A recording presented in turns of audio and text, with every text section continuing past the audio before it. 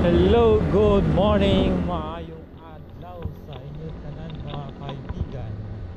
At nandito na naman po tayo, nagbabalik at ah, dito ulit tayo sa Kahabana C5 Extension. Ayun nga guys, uh, kamusta ang ah, araw-araw dyan, no? Uh, sana'y nasa mabuti kayong uh, kalagayan at ah, naway ah, safe pa rin no bawat isa sa atin. Ito ang bawat isa no? At ah, patuloy lang ang ating laban sa COVID-19 no? At ah, yun nga ang ah, vlogs are ang topic natin for today mga kaibigan.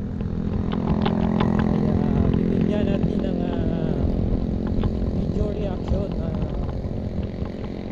mga basher no or ang mga naingit kay Kuya Val Magtubal hinira sa kanyang uh, programang uh, pabahay sa mahihirap no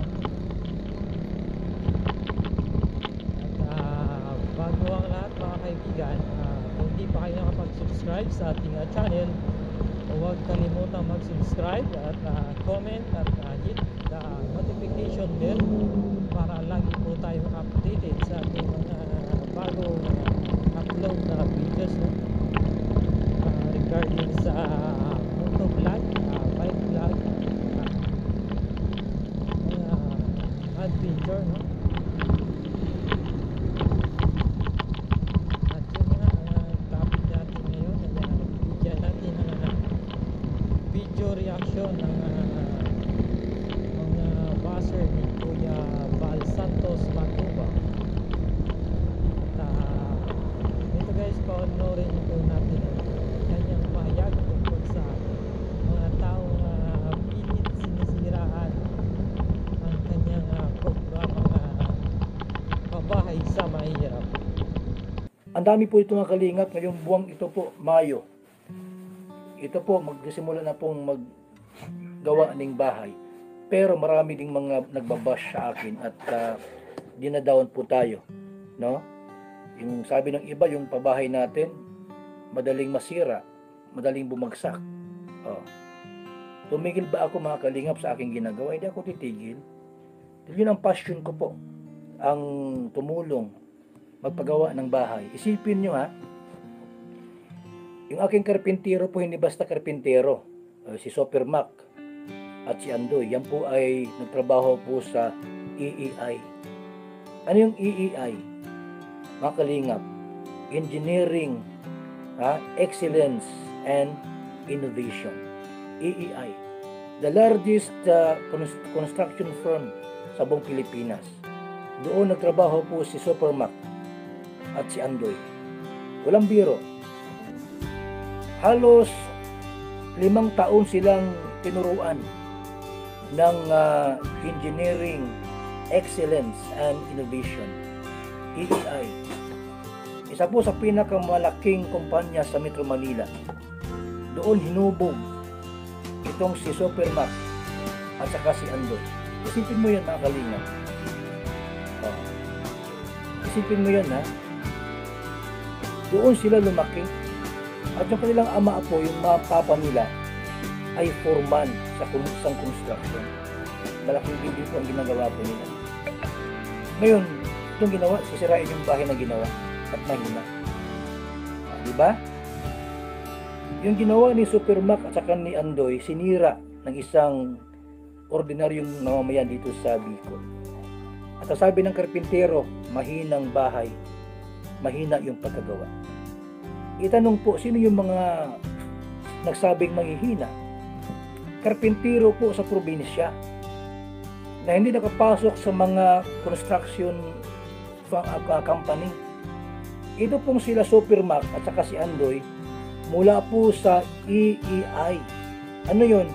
Engineering Excellence and Innovation. Doon sila hinubog at tinuruan. Lahat po eh, almost 5 years sila nagtrabaho doon.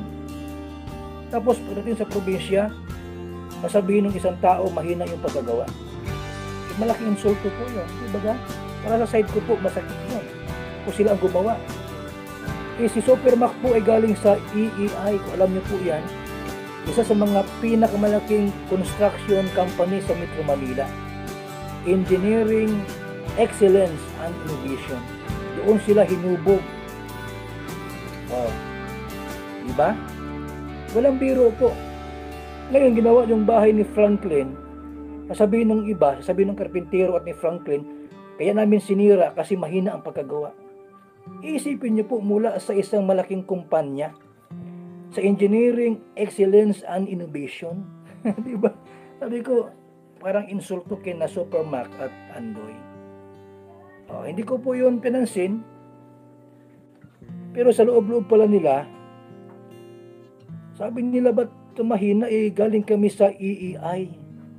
Yung kumutya at ng lait ni isang kumpanya walang pinasukan at matanda na. Yan po mga kalingap. Kasi po, paano mo ipagawa ang isang bahay na kulang ang pundo? Oh. Yung ating pabahay po magkano lang? 90,000, 100,000. Pero maganda at matibay. Kasi po sila Super Mac at Super Andoy, sila Andoy, galing po sa Engineering Excellence and Innovation, EEI. Doon yan hinubog at tinuruan paano gumawa ng mga buildings, mga tulay at uh, mga bahay. Doon lumaki. Tapos sasabihin po ni Franklin na tinawag na engineer, uh, na attorney, oh, ay kaya namin sinira kasi mahina ang gawa nyo. Eh samantalang ito sila, galing po sa EEI. Kaya sabi ko, hayaan mo na lang. Doon na kayo mag-react. Gawin nyo ang inyong magagawa. Sabi ko sa kanila. Kasi po, nung sinira po ang bahay ni Franklin, hindi na ako umimik. Sabi ko, bala ng Diyos sa inyo. Ang laki ng pera ginastos. Oo. Isipin nyo po, ginawa nila yon within 12 days. Ha? Wala pang ano, wala pang bubong. Halos malapit na pong bubungan yung bahay po ni Franklin. 12 days po. Ito naman ang ano, kakalingan. Araw-araw po, araw-araw, inihahatid ko sila. Mula sa bahay dito, papunta doon kina Franklin. So, ilang minuto po, halos 35 minutes. Pagkahapon, sinusundo ko pa sila. Kapit sundo ko sila eh. Kasi mahirap yung lugar nila sa looban pa. Kapit sundo ko sila. 12 days. Pinapakain ko sa bahay, sa gabi at saka sa umaga at tanghali, pinapakain ko sila. Balik-balik kami duman. Ngayon, ah gusto ng isang sponsor, dapat daw yung bahay ni Franklin ay ah, lahat lahat po ay mga high-tech, dipindot. Nga guys, no, uh,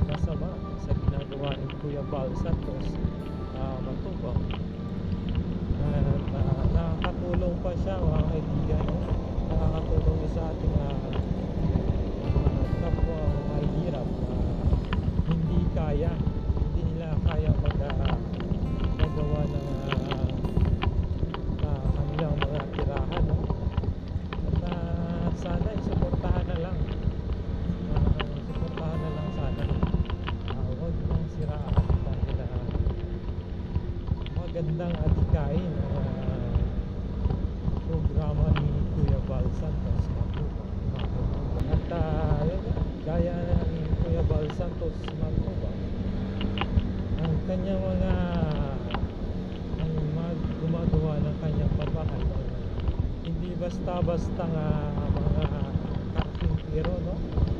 Kaya dahil ah, ito ay nagtrabaho yung ano sa EI mga kaibigan.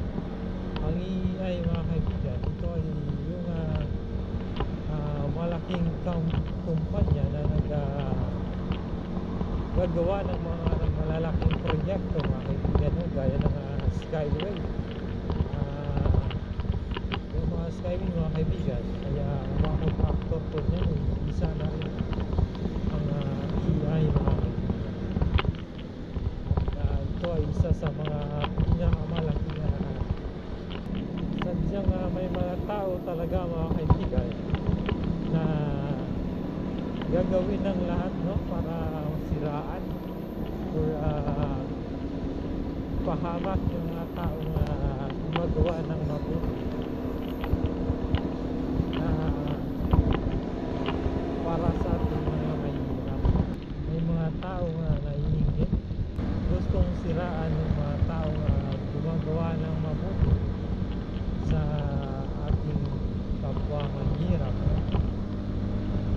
At uh, yun nga, ang sabi ni Kuya Bal Santos at sobrang bait ng taong yun, no? At uh, hinayaan na lang niya. at uh, totoo sin mga kaibigan, pwede niya po yun kasuhan, no? Dahil sa giniba, giniba nila uh, mabahay ng isang Bal Santos Matubang, mga kaibigan. Ah, hindi, kaya daw ito nila giniba mga kaibigan dahil na hindi daw ah, matibay no hindi matibay yung ah, ano, pagkagawa kaya nagsalita na rin si Kuya Val Santos tungkol sa kanyang paninira no? At yun nga mga kaibigan no? Sa sobrang bait ng ah, tao niya no? Si Mr. ah, Val Santos Matubang. At uh, salute sa iyo Idol ah, Santos Matubang no? Salute sa iyo. At ah, patuloy lang po ang iyong uh, atikain at uh, iyong magandang ah, pagtulong sa kapwa at sa mga taong uh, naninira kay Kuya Bal Santos Matubang eh, sana po ay tigilan nyo na po ang gawain na hindi naman po kayo nakakatulong. Nakaka-perwisyo ko po kayo no? Kung sino ka mga kakapulano pa no? Tigilan mo na ang paninira sa mga tao.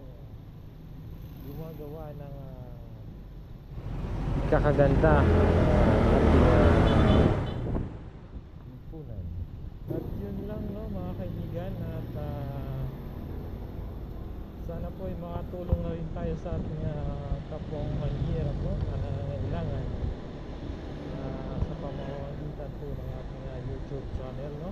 Sa lahat po mga hindi pa po nakapag-subscribe please ah, subscribe our ah, channel Bronski TV at Victor no? At ah, hit the notification bell mga kaibigan. Salute tayo sa mga taong uh, tumutulong no? At, ah, may, at may mabuti na puso pagtulong sa kapwa. Yan lang po ang ating uh, topic for today mga kaibigan. At uh, magandang araw sa inyong lahat. Uh, ride safe mga kaibigan. Bago ang lahat, uh, meron tayong kasabihan na uh, ang pagtulong ng mabuti sa kapwa